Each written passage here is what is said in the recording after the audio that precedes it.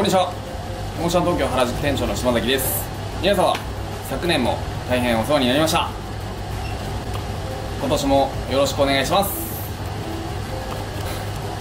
今日は新年の最初の動画なので、えーまあ、最近のセットを軽くしながら、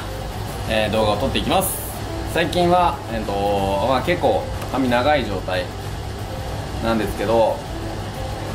トップもこのぐらい長い。センターパート、まあ、ずっとやってたりしたんですけど、えっと、最近はこうかき上げて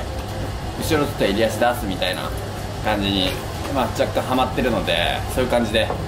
日はセットしていきます。ほい。じゃあ今日はナチュラルとクールグリース。これですね。でタオルドライの状態です。もう長いのでがっつりつけます。でナチュラルもまあ1対1ぐらいですね。つけます。全体にがっつりなじましていきます。であと先日去年ですね、えー、ゆるいパーマをかけてもらったので若干こうスパイラルっぽい感じに、まあ、パーマがかかっているのでセットはめちゃくちゃ楽です。で最近はもう全体にガツッとなじませたら、えー後ろにこうかき上げるような感じでもう終了なので3分とか5分とかでセットはもう終わっちゃいますね。で前髪が長くなってきて、まあ、センターバートちょっと飽きたなみたいな。方とかもそういうのセットのやり方おすすめなので、えーまあ、たまにはちょっとこう大人っぽくというか雰囲気を変えてやってみてもいいんじゃないでしょうか。でやっぱこう長いスタイルでワックスをつける場合だとなじませのムラがだいぶ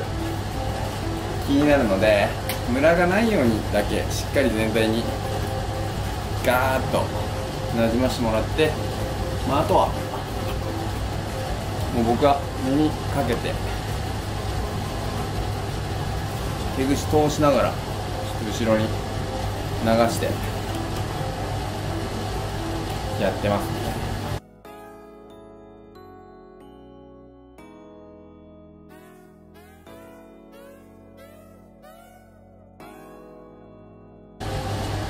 あもう本当こんな感じです最近のセットは。もうガッとラフにかき上げてこの感じですね。はい。ひげは嫁にいいって言われたから伸ばしました。はいこんな感じ。めちゃくちゃ簡単ですセットが。はい。まあ、セットは簡単なんですけど、えー皆さん、えっとまあ、今年もたくさん動画を上げていこうと思うので、えーまあ、ぜひ、えーまあ、次の動画だったりとか、えーまあ、これからも今年も、えーよろしくお願いします、えーあと、えっとまあ、こういう動画が見たいとか、えーまあ、こういうのやってほしいみたいなこの間モーニングルーティンみたいなのをやったんですけど、えーまあ、結構好評で、えすごい嬉しかったので、えっと他にもなんかやってほしいみたいなご要望があればぜひあのコメント欄だったりとかあとまあ僕のインスタのコメントとかにしていただければ、えまあ、挑戦させていただくので、えま、そちらも合わせてよろしくお願いします。ではご覧いただきありがとうございました。